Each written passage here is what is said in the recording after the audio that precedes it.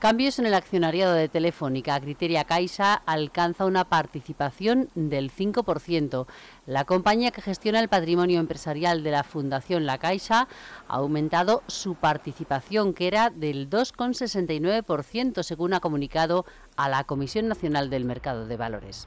Es casi llevar al doble su parte en el accionariado de la Compañía Española de Telecomunicaciones y convertirse en uno de los principales accionistas. La operación refuerza el accionariado español en Telefónica y se produce en paralelo a la entrada de la SEPI, la sociedad estatal, en la empresa con un 3% de las acciones. La SEPI tiene además orden del Gobierno de llegar a un máximo del 10%. Estos movimientos suceden a la compra del 9,9% del capital social de Telefónica por parte del grupo saudí STC. Criteria Caixa ha explicado que la adquisición se ajusta a su política de inversiones focalizada en compañías con una atractiva política de dividendos.